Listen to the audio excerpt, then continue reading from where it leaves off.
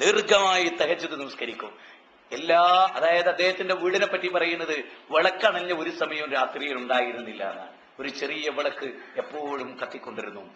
രാത്രി മുഴുവനും അദ്ദേഹം ദീർഘമായി നിസ്കരിക്കും. എന്നിട്ട് ആ നിസ്കാരം കണ്ട് പൂർത്തിയായാൽ ഭാര്യയെ വിളിച്ചുണർത്തും. ഭാര്യയുടെ നിസ്കരിച്ച ആ നിസ്കാരം കണ്ട് പൂർത്തിയാവുമ്പോ രാത്രിയുടെ അവസാനയാമം മകളെ വിളിച്ചുണർത്തും. മകൾ നിസ്കരിക്കും. അങ്ങനെ ആ വീട് രാവ് മുതൽ പകൽ വരെ സുബഹി വരെ തികച്ചതിലായിരുന്നു അങ്ങനെ ജീവിതത്തെ മുഴുവനും സമർപ്പിച്ച അബൂഹുറൈറാറുള്ളാനും മരിക്കാൻ കിടക്കുമ്പോ എന്താ ആലോചിക്കുന്നത്? എന്റെ ഖബറും എന്റെ പരലോകവും എന്താകും എന്നതിനെ കുറിച്ച് ഇനി ചിന്തിക്കുക നന്നായിട്ട് ആലോചിക്കുക എന്തായിരിക്കും നമ്മുടെ അവസ്ഥ? പരലോകത്ത് നമ്മുടെ അവസ്ഥ എന്തായിരിക്കും? ഇത്രമാത്രം ചെയ്ത ആളുകൾ. എനിക്ക് കേൾക്കണോ? ഖബാബ് അള്ളാഹുനു ഇതുപോലെ മരിക്കാൻ കിടക്കുകയാണ്. അദ്ദേഹത്തിന്റെ ചുറ്റിലും സഹാബികൾ അദ്ദേഹത്തിന്റെ താടിരോമങ്ങളിലൂടെ കണ്ണുനീർ ചാലിട്ടൊഴുകുകയാണ്. അവർ ചോദിച്ചു ഹബാബ് എന്തിനാണ് അങ്ങ് ഇങ്ങനെ കരയുന്നത്? എന്തിനാണ്? എന്താണ് അങ്ങക്കുണ്ടായ ഫീലിംഗ് എന്താണ്? അദ്ദേഹം പറഞ്ഞിതാ നോക്കൂ ഞാൻ ദരിദ്രനായിരുന്നു പാവപ്പെട്ടവനായിരുന്നു. അതെ ഞാനൊരു കൊല്ലപ്പണിക്കാരനായിരുന്നു. ആ ദാരിദ്ര്യത്തിന്റെ പടുപടിയിൽ വീണുപോയവനായിരുന്നു. ഇന്ന് ഞാൻ സമ്പന്നനാണ്. ഇന്ന് ഞാൻ സമ്പന്നനാണ്. അള്ളാഹു എന്നെ സമ്പന്നനാക്കി. എന്റെ വീടിന്റെ ഒരു വാതിൽ ഞാനിതാ തുറന്നു വെച്ചിരിക്കുകയാണ്. സ്വർണ നാണയവും വെള്ളി നാണയവും രണ്ട് പാത്രങ്ങളിൽ നിറച്ചു വെച്ചിരിക്കുന്നു. സാധാരണക്കാർക്ക് കൊണ്ടുപോകാൻ. പാവപ്പെട്ടവന് കൊണ്ടുപോകാൻ കട്ടപ്പെട്ടവർക്ക് കൊണ്ടുപോകാൻ എനിക്ക് തോന്നുകയാണ് ദുനിയാവ് തന്ന് എന്റെ ആഹ്റം അല്ലാഹു നഷ്ടപ്പെടുത്തി കളയുമോ എന്ന് ഞാൻ വിചാരിക്കുകയാണ്.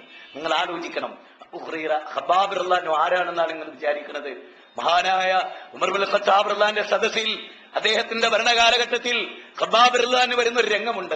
അദ്ദേഹത്തിന്റെ ഷോൾഡറിൽ എപ്പോഴും ഒരു പുതപ്പുണ്ടാവും ചുമലിലൂടെ ഇങ്ങനെ തായോട്ട് തൂങ്ങി നിലത്ത് വരെ എത്തുന്ന ഒരു പുതപ്പ് അതിങ്ങനെ പിടിച്ചിട്ടാണ് ഹബാബ് റഹ്ലാൻ ആ സദസ്സിലേക്ക് വരിക. അങ്ങനെ ഉമർബുൽ ഖത്താബ് സദസ്സിൽ നിന്ന് അദ്ദേഹം തിരിച്ചു പോകുമ്പോ ആ പുതപ്പ് ഇങ്ങനെ തായോട്ട് ഊർന്നു വീണു.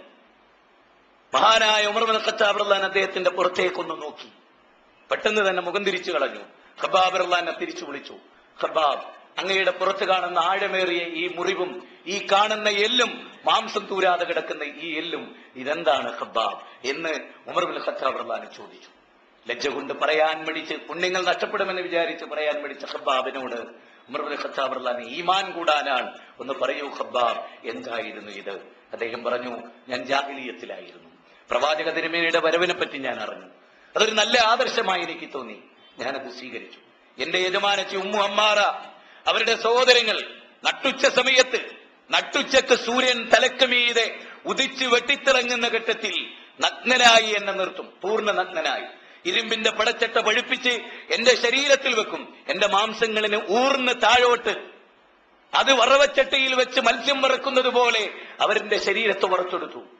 അങ്ങനെ ദിനംപ്രതി അവർ ചെയ്തു. അബോധാവസ്ഥയിൽ വീണ് കിടക്കുന്ന ഞാൻ ബോധം വരുമ്പോഴൊക്കെയും അള്ളാഹു അഹദ് എന്ന് പറഞ്ഞുകൊണ്ടിരുന്നു. അവരെന്നെ ഇവിധം പീഡിപ്പിച്ചു. ഇന്നും മാംസം വന്നടയാതെ ഈ നിൽക്കുന്ന എല്ലും ഈ നിൽക്കുന്ന ആഴമേറിയ മുറിവും ഇസ്ലാം സ്വീകരിച്ചതിന്റെ പേരിൽ ഞാനേറ്റ ത്യാഗങ്ങളുടെ കഥയാണ്. സഹോദരങ്ങളെ ഇസ്ലാമിന് വേണ്ടി ത്യാഗം അനുഭവിക്ക പോയിട്ട് തറാവീഹ് ഇമാം ഒരു അഞ്ചു മിനിറ്റ് അധികം ഓതിയാൽ പണ്ടാരപ്പായൻ ഹാപ്പിലാന്ന് വിചാരിച്ചിട്ട് എന്തു ആകാന? എന്ന് മനസ്സ് പറയുന്ന ആളുകളാണ് നമ്മളിൽ പലരും. ഒരഞ്ചു മിനിറ്റ് നിസ്കാരത്തിന് പോലും അമിതമായി നിന്ന് കാലുവേദനിക്കാൻ മനസ്സില്ലാത്ത നമ്മളൊക്കെ വിചാരിക്കണ്ടല്ലോ ഞാളൊക്കെ സ്വർഗത്തിലായിരിക്കും. എന്തേലും ഞാനൊക്കെ സ്വർഗത്തിലായിരിക്കും ഒന്നുമില്ലെങ്കിലും ഞാനൊരു മുജാഹിദ് മെമ്പറല്ലേ? ഞാൻ അഞ്ചു പേര് നിസ്കരിക്കണില്ലേ? ഇടക്കൊക്കെ മീറ്റിങ്ങിലൊക്കെ പോകുന്നില്ലേ? നാട്ടിലൊക്കെ നടക്കുന്ന പ്രസംഗത്തിനൊക്കെ ഞാൻ പോകണ്ടല്ലോ അതുകൊണ്ട് ഞാൻ സ്വർഗത്തിലായിരിക്കും. ആലോചിക്കുക. റസൂലി സല്ലാ അലൈഹി സ്വലം അവസാനം ഐഷ ബീവി അള്ളാഹു താലാനഹയുടെ മടിയിൽ തലവെച്ച് കിടക്കണം നബി സല്ലാഹു അലൈഹി വസല്ലം.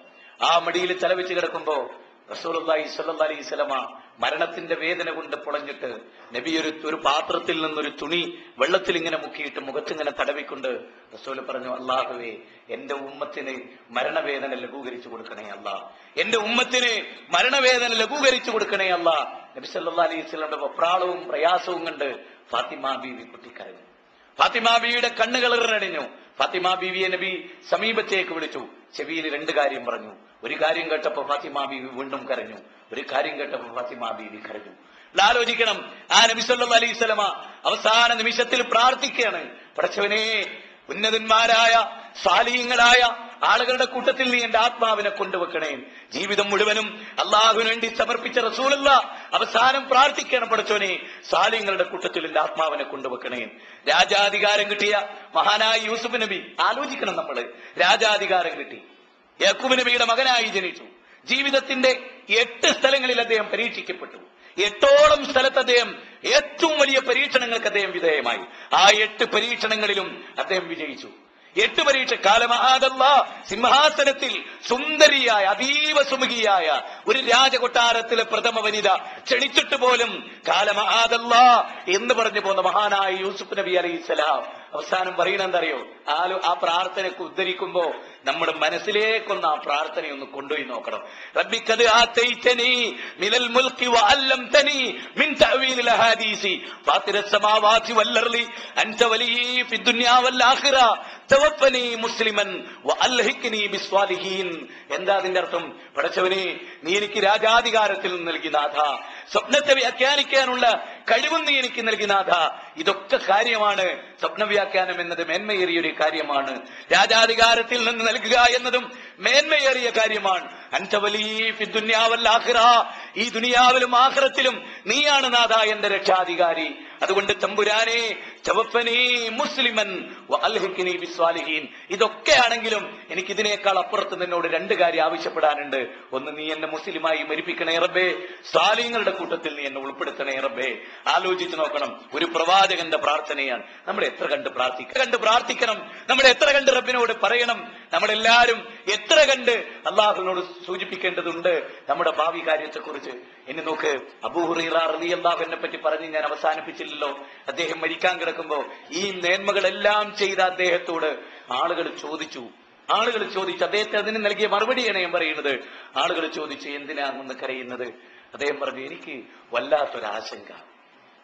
അബൂഹുറൈറാറിലാണ് പറയാൻ വല്ലാത്തൊരു ആശങ്ക എന്താ ആശങ്ക? ഇവിടെ നിന്ന് കബറിലേക്ക് വേഗത്തും. കബറിൽ നിന്ന് പരലോകത്തേക്കുള്ള ആ കാലഗണനയെ കുറിച്ച് ഓർക്കെ ഞാൻ. അതോടൊപ്പം എന്റെ കയ്യിൽ കുറഞ്ഞ പാതയമേ ഉള്ളല്ലോ അള്ളാനെ കണ്ടുമുട്ടുമെന്ന് ആലോചിക്കുകയായിരുന്നു ഞാൻ. നിങ്ങൾ ആലോചിക്കണം അബൂറൈറാനെ പറയാണ് ജീവിതം മുഴുവനും ഇസ്ലാമായി ജീവിച്ച് ഒരു ഇഞ്ച് പോലും അള്ളാന്റെ ഇഷ്ടത്തിനെതിരായി പ്രവർത്തിക്കാതെ റസൂലി സല്ലാ അലൈഹി സ്വലമെ ചാണിന് ചാണായി മുഴത്തിന് മുഴമായി പിൻപറ്റി ഒരു തെറ്റും സംഭവിക്കാതെ ആയിരത്തറുന്നൂറോളം ഹദീസുകൾ മനഃപ്പാടമാക്കി ഖുർആൻ മനഃപ്പാടമാക്കി ഏറ്റവും പരിശുദ്ധമായി രാത്രി ഉറങ്ങാതെ തെഹജുദ് നിസ്കരിച്ച മഹാനായ അബൂറെറലാന് പറയാണ് എന്റെ കയ്യിൽ പാതയും കുറവാണ് എങ്കിലും നമ്മുടെ കയ്യിൽ ഒന്നുമില്ല. ഒന്നുമില്ല. ഇത്രയും കാലം നിസ്കരിച്ചുകൊണ്ടൊന്നും വല്ലാതെ ആശ്വസിക്കണ്ടെന്നാണ് ഞാൻ പറഞ്ഞതിന്റെ ചുരുക്കം. ഒന്നുമില്ല. ഇനിയെങ്കിലും നമ്മൾ വളരെ ഗൗരവമായി ആലോചിക്കുക. നമ്മുടെ കയ്യിൽ എന്തുണ്ടാകണം? എന്താ നമ്മുടെ കയ്യിലുള്ളത്? കഴിഞ്ഞുപോയ ജീവിതത്തെക്കുറിച്ചും സിട്ട ജീവിതത്തെക്കുറിച്ചും ആലോചിക്കുമ്പോൾ എന്താണ് യഥാർത്ഥത്തിൽ നമ്മുടെ കൈകളിലുള്ളത്?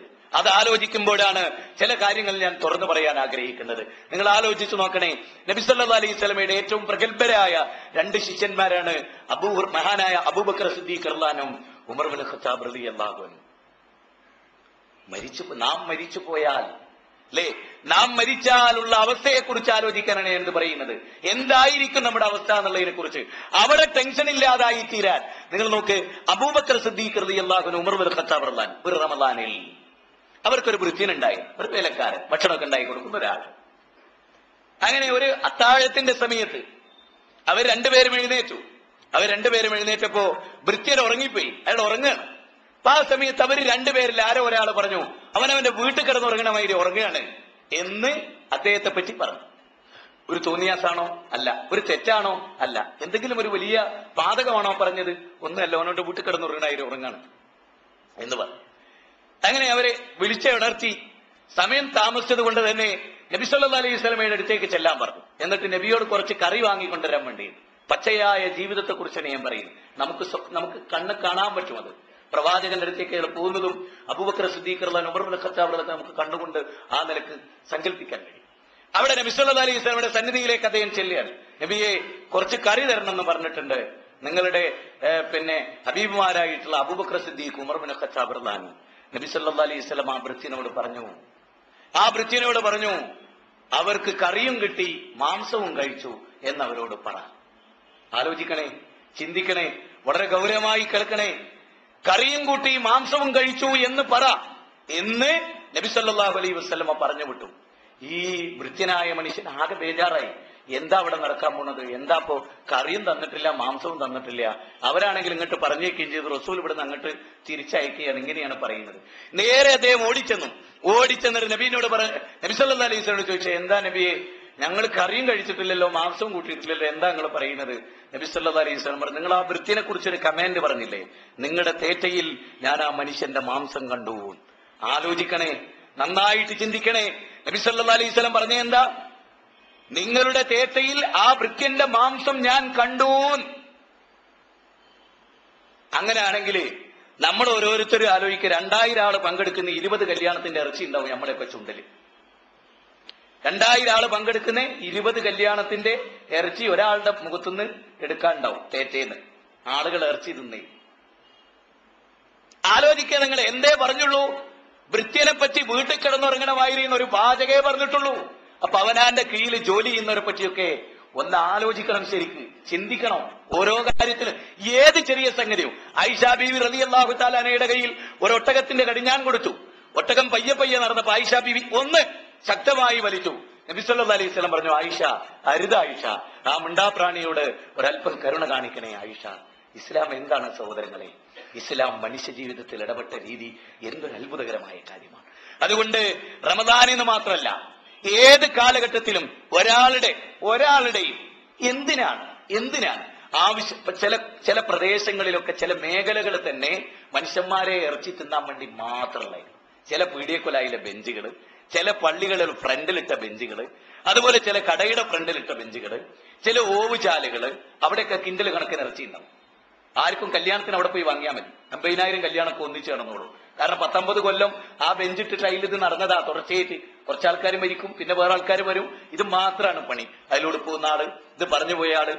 ഞാൻ ചോദിക്കുന്നു എന്താണ്? നാം ഈ നിലയ്ക്ക് മരിച്ചാൽ നമ്മുടെ സമീപനം എന്തായിരിക്കും പരലോകത്ത്? എന്നതിനെ കുറിച്ച് നമ്മൾ ആലോചിക്കേണ്ടതുണ്ട്. നമ്മുടെ സിറ്റുവേഷൻ എന്തായിരിക്കും? അള്ളാഹുവിനെ കണ്ടുമുട്ടും എന്തായിരിക്കും നമ്മുടെ അവസ്ഥ? എന്നതിനെ കുറിച്ച് നമ്മൾ ആലോചിക്കേണ്ടതുണ്ട്. മന്നജ യാ റസൂലല്ലാ റസൂലെ എന്താ വിജയം എന്ന് വെച്ചു അംസിക്ക് അലൈക്കലിസാനക്ക അംസിക്ക് അലൈ നീ നിന്റെ നാവിനെ കെട്ടിയിടലാകുന്നു. വിജയം.